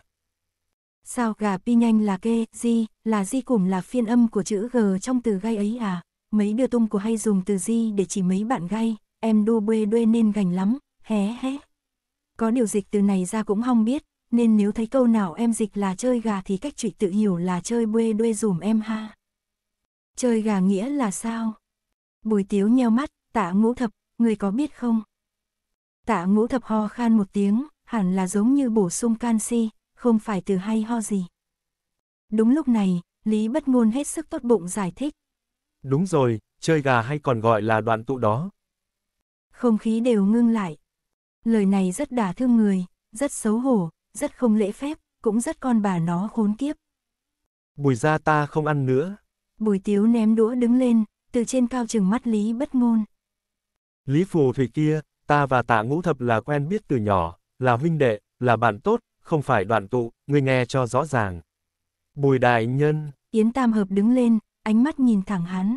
Lý bất ngôn là bằng hữu của ta, là tỷ muội, không phải tỷ nữ, ngươi hãy tôn trọng một chút. Cổ bùi tiếu chậm rãi xoay cổ về phía tạ Chi Phi, sao các nàng biết ta đang phỉ báng Lý Phù Thủy. Tạ Chi Phi, Tổ Tông, ta cũng muốn biết nhắm. Có câu chuyện phía trước, bữa cơm này bỗng biến thành nặng nề đến mức khiến người ta không tiêu hóa nổi. Nuốt ngụm canh cuối cùng xuống, Yến Tam Hợp dùng nước trà xúc miệng, phá vỡ sự nặng nề. Tạ tam gia, Tạ Chi Phi vội vàng nói, Yến cô nương có gì dặn dò không? Yến Tam Hợp, Người hầu hạ bên cạnh lão thái thái, ngoại trừ người đã ra khỏi phủ, ta đoán chừng còn khoảng 10 người. Ý Yến cô nương là, tam gia hẳn là đã quen thẩm vấn phạm nhân, vì tiết kiệm thời gian, chúng ta mỗi người thẩm 5 người, được không? Tạ Chi Phi khiếp sợ vì đề nghị này của Yến Tam Hợp. Cần ta hỏi cái gì? Ngươi chỉ cần hỏi ba câu. Ba câu gì? Bùi Tiếu xen vào. Yến Tam Hợp không nhìn hắn nói. Trong mắt ngươi, lão thái thái là người như thế nào? Tạ Chi Phi, Câu thứ hai, Yến Tam Hợp, có ấn tượng gì sâu sắc về lão thái thái không? Tạ Chi Phi, Câu thứ ba, Yến Tam Hợp, ai có thể là người muốn lão thái thái chết không yên? một chữ cuối cùng rơi xuống, trong lòng Tạ Chi Phi như sóng ngầm mãnh liệt. Hắn bưng chung trà lên, làm bộ lười nhác cười nói. Ta đã nhớ rõ ba câu hỏi này, chỉ là muốn hỏi thêm một câu. Chờ hỏi xong, ta sẽ nói cho ngươi biết dụng ý của ba câu hỏi này. Tạ Chi Phi, Yến Tam Hợp, Ngươi tới tà phủ mang theo mấy người mặc quan bào. Tạ Chi Phi, Hai, một Chu Thanh, một Đinh Nhất. Yến Tam Hợp, Chu Thanh cho ta mượn dùng. Tạ Chi Phi, Cô nương định dùng như thế nào? Yến Tam Hợp, Dùng để lập uy. Tạ Chi Phi vừa nghe lời này, lập tức hiểu ra. Yên tâm, tên nhóc kia đứng bên cạnh cô nương, chắc chắn là một môn thần, không ai không sợ. Yến Tam Hợp nhìn về phía bùi tiếu đối diện. Bùi đại nhân, Bùi đại nhân cười có chút giả dối. cần ta làm gì vậy, Yến cô nương? Yến Tam Hợp, Tam gia hỏi, ngươi ghi chép, một chữ cũng đừng bỏ sót. Vậy phải viết bao nhiêu chữ chứ, bùi ra ta mỏi tay lắm. bùi tiếu nhíu mày, ngón tay rất không khách khí gõ mặt bàn. Hay là, Hai bà phù thủy đứng lên, sóng vai đi ra ngoài. Bùi tiếu á khẩu không trả lời được nửa ngày, sau đó cắn răng nhìn tả tam gia. Tả tam gia bình tĩnh, không chỉ bình tĩnh, hắn còn cong mắt cười cười. Ngươi là tên đáng chết, Bùi đại nhân chửi ầm lên, nàng ta ghê gớm thế mà ngươi không giận mình chút nào. tả tam gia liếc hắn một cái, Ta đã thấy lúc nàng còn ghê gớm hơn, ngươi tin không? còn ghê gớm hơn sao? Bùi đại nhân thở dài một tiếng, Ngươi nói cô nương ta tuổi còn trẻ, sao lại? đừng cảm thán. Khó khăn lắm mới được nói chuyện riêng, tả tam gia vội nhích đầu lại gần. Nói mau, trước khi ta tới, ngươi đã tìm ra cái gì? Nha hoàn tên Lý Bất Ngôn kia không chỉ biết nói lời khách sáo, hơn nữa ánh mắt còn rất độc. Vừa nói đến đây, bùi tiếu lại kích động. Ta nói cho ngươi biết, chủ tớ hai người một sướng một hợp, phối hợp không có kẽ hở. Chủ tử liếc mắt một cái, nha hoàn lập tức hiểu, hay chúng ta ở chuồng lớn lên cùng nhau cũng không ăn ý bằng các nàng. Sắc mặt tạ chi phi lạnh xuống. Xem ra, nha đầu kia cũng phải điều tra. Chắc chắn phải điều tra. Lý bất ngôn kia mới bao nhiêu tuổi mà đã có thân thủ tốt như vậy, rốt cuộc đã luyện như thế nào? Ai dạy? Tạ Chi Phi nghe đến đó, sắc mặt lại lạnh thêm. Một bí ẩn chưa được giải đáp, lại thêm một bí ẩn nữa. chương 70, cơm thừa. Hoàng Kỳ, ra, đi gọi hai hòa thượng kia tới. Vâng, ngươi còn dẫn theo hai hòa thượng đến tạ ra sao? Tới làm gì, niệm kinh à? Ngươi thì biết cái gì? Bùi tiếu lườm hắn một cái, lạnh lùng cười nói. Chờ người đến khắc biết. Hai hòa thượng một béo một gầy đùng đỉnh đi đến. Bùi tiếu ra hiệu cho Hoàng Kỳ, Hoàng Kỳ vội vàng đóng cửa phòng khách lại. Hòa thượng béo móc từ trong ngực ra hai bức họa, nịnh nọt nói. Bùi đại nhân, ngài xem vẽ có giống không? Bùi tiếu bảo hắn đưa bức họa cho tạ chi phi xem. Tạ chi phi liếc mắt một cái thì sợ ngây người. Một tấm là Yến Tam Hợp, một tấm là Lý Bất Ngôn, hai bức đều vẽ rất sống động. Ngươi đây là, đợi lúc về ta sai người mô phỏng mấy trăm bước rồi phát cho mỗi ngôi chùa ở Đại Hoa Quốc một tấm. Phàm phu tục tử mùng một không dâng hương chẳng lẽ 15 không dâng sao? Bùi tiếu khoanh tay, cười dương dương đắc ý. Bùi ra ta không tin không tìm được lai lịch của họ. Làm tốt lắm. Hai bức tranh này khiến tạ chi phi mở ra một cánh cửa mới, vừa muốn khen ngợi tên nhóc này, thì nhắc thấy hắn nhếch miệng, cười gần nói. Mặc kệ Yến Tam Hợp là phù thủy hay cao nhân thì cũng không thể không thoát được ngũ chỉ sơn của Như Lai Phật tổ ta. Tạ Chi Phi đột nhiên run lên. Lời này, sao hắn nghe khó chịu vậy nhỉ? Tạ Chi Phi thu thần sắc lại, đứng dậy ôm quyền. Vậy làm phiền hai vị rồi, tam gia khách khí. Hai hòa thượng đáp lễ. Bùi đại nhân, nếu không có chuyện gì thì chúng ta về nha môn trước nhé. Bùi tiếu vừa gật đầu vừa làm động tác im lặng với hai người. Hòa thượng gầy vội cười nói. Cái này còn cần bùi đại nhân dặn sao, yên tâm, yên một trăm cái tâm đi. Hai hòa thượng lại đùng đỉnh rời đi. Tạ Chi Phi nhìn bùi tiếu, tự đáy lòng nói. Minh Đình, ngươi được lắm, có thể còn hơn thế nữa. Bùi tiếu lạnh lùng cười. Nếu không phải vừa rồi ta gây rối thì sao Yến Phù Thủy có thể ngoan ngoãn nói ra quan hệ thực sự với Lý Phù Thủy chứ? Ngươi cố ý sao? Bùi tiếu ngẩng đầu không nói lời nào, biểu cảm trên mặt như nói. Khen ra đi, khen mạnh vào. Tạ Chi Phi không chút keo kiệt bật ngón tay cái, sau đó thuận thế thấp giọng nói. Tìm lúc nào đó đi gặp hắn. Cú quay xe này đột ngột quá, nụ cười tươi giói của Bùi Tiếu còn chưa kịp thu lại thì đã theo bản năng hỏi. Gặp ai, gặp ai mà ngươi còn hỏi ta à? Giọng nói Tạ Chi Phi đè nén. Hắn mang tin tới nói, thái tử muốn bỏ xe giữ tướng. Biểu cảm cười đùa nháy mắt đã biết mất, Bùi Tiếu nhíu mày. Lúc nãy ngươi thì thầm với cậu của ta về chuyện này sao? Tạ Chi Phi lắc đầu. Ta nào dám nói với ông ấy chuyện này, ta chỉ nói lão ngự sử gần đây vào chiều chỉ tội. Hèn gì cậu ta lại lập tức đồng ý. Bùi Tiếu trầm mặc thật lâu, lại nói. Không thể không nói, về vụ tiết kiệm thời gian thì Yến Phù Thủy rất biết suy nghĩ cho khổ chủ. Hắn đột nhiên nhắc tới khiến cho tạ Chi Phi lại nhớ đến mấy ngày chạy như bay không mang mưa gió trước đây. Sau một lúc lâu, hắn thấp giọng nói. Sau này ngươi sẽ biết, nhà đầu kia ngoài mặt lạnh lùng trong lòng ấm áp. Chuyện sau này, sau này hãy nói. Bùi tiếu dục hắn. Đi, đi tìm bà mụ đi, đừng chậm trễ thời gian. Tạ Chi Phi đứng lên, ánh mắt lơ đãng đảo qua chỗ Yến Tam Hợp đang ngồi, tất cả động tác lập tức dừng lại. Nhìn gì thế? Bùi tiếu tiến về phía trước, thấy hắn nhìn chằm chằm chén cơm Yến Tam Hợp vừa dùng. Nàng ta chỉ còn thừa một miếng cơm thơi, ngươi có cần làm ra vẻ ăn thịt người như thế không? Tạ Chi Phi nhìn miếng cơm thừa kia, đáy mắt yên tĩnh như nước sâu. Đi thôi. Bùi tiếu kéo y đi ra ngoài. Nhưng mà kéo không nổi. Đừng nói với ta, ngươi là muốn giúp nàng ăn miếng cơm thừa kia nhé. Ngươi nói đúng. Trái tim phủ bụi của tạ Chi Phi đột nhiên như bị kim đâm một cái, có rút đến đau đớn, sau đó không hiểu lại sôi trào. Bùi Minh Đình, ngươi tin không?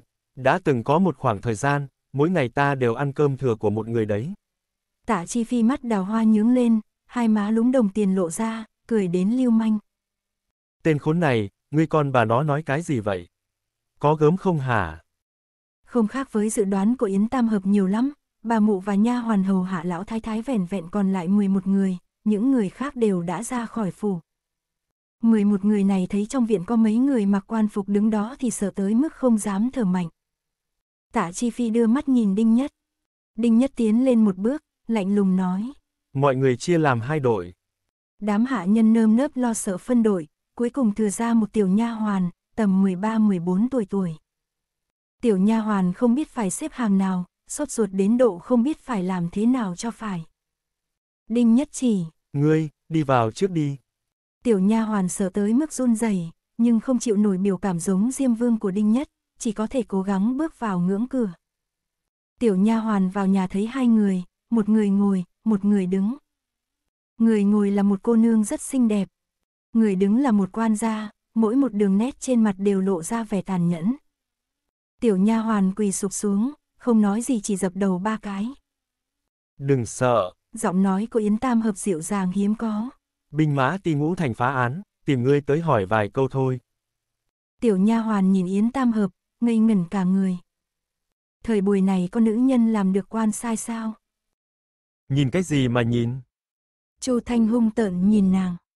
Đây là cao thủ tra án tạ chỉ huy sứ mời tới, người tốt nhất thành thật trả lời, nếu không, ta cho ngươi nếm thử tư vị ăn cơm tù. Tạ chỉ huy sứ đi theo ho khan một tiếng. Chỉ cần thành thật trả lời, ta chắc chắn bảo đảm ngươi bình an vô sự. Tiểu nha hoàn quả thật bị hù chết khiếp, ngồi phịch dưới đất nước mắt lưng tròng. Yến Tam Hợp thấy thời gian không còn nhiều thì vội hỏi. Ngươi tên là gì, năm nay bao nhiêu tuổi, làm công việc gì trong viện lão thái thái? Tiểu nha hoàn nước nở nói. Nô tỳ tên Tiểu Hồng, 14 tuổi, là người chăm sóc vườn rau cho lão thái thái. Yến Tam Hợp. Đi theo lão thái thái mấy năm rồi? Tiểu Hồng. Hai năm. Yến Tam Hợp. Vì sao lại đi theo lão thái thái? Tiểu Hồng gạt lệ. Nha hoàn vốn trăm vườn của lão thái thái được thả khỏi phủ, vì nô tỳ biết trồng rau nên được chọn đến. Yến Tam Hợp. Ngươi không phải là con của người hầu trong nhà à? Tiểu Hồng lắc đầu. Nhà nô tỳ còn có cha mẹ huynh đệ, trong nhà không đủ ăn nên bán nô tỳ đi, nhưng chỉ bán khế ước sống, nếu sau này có tiền sẽ có thể chuộc lại. Nói đến đây, Yến Tam Hợp mới vào vấn đề chính. Trong mắt ngươi, lão thái thái là người như thế nào? Lần này, Tiểu Hồng khựng lại. Yến Tam Hợp ho khan một tiếng, Chu Thanh bên cạnh vội vàng quát lớn. Hỏi ngươi cái gì thì trả lời cái đó. Tiểu Hồng vội vàng trả lời.